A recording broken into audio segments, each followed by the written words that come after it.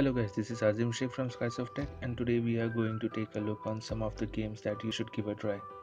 These games are based on their simplicity but fun to have to kill some time.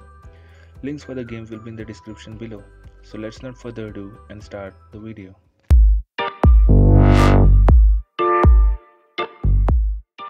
First we have a game called Car Driver. It's a parking sort of game where you have to park your car eliminating the obstacles.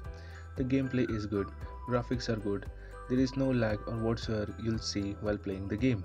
All the controls of the car in the game is quite well put together. You'll not see any lag while playing using these controls. The game has tons and tons of level to clear.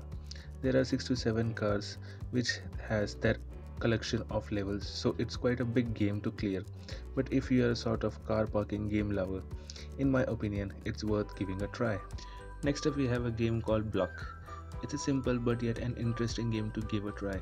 It's basically a game in which you need to hop your object from one tower to another. Sounds easy, but it really needs some serious concentration to hop between the pillars. Each time you'll clear a pillar, the width of the next pillar shrinks a bit which makes it really difficult to make a judgment for hopping between them. And you'd also have to collect the diamonds in the air and the object you are using to hop is not an object, it's actually a box type creature which actually stands on his feet sometimes in the game. This type of little attention to detail and the smoother gameplay actually gives this game a unique place in your collection library of games. It also has lots of level to clear and some special gems to collect which gives you a lot of ability to clear these obstacles.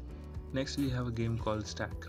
It's a game which actually uses your hand-eye coordination to create a building of blocks one upon another. The block moves from left to right and as you'll tap the block, it sits on one another. You need to place the block exactly one on another if you miss. The part in the air actually cuts off which makes it so much interesting and makes you mad type of game.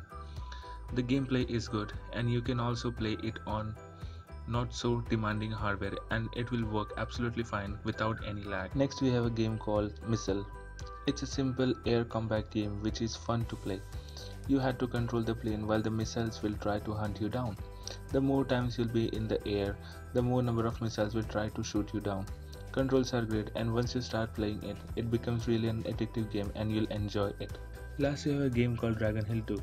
It's an upgrade over the Dragon Hill with lots of new stuff. The rules are simple, just protect your dragon from the zombie who tries to kill you and your dragon.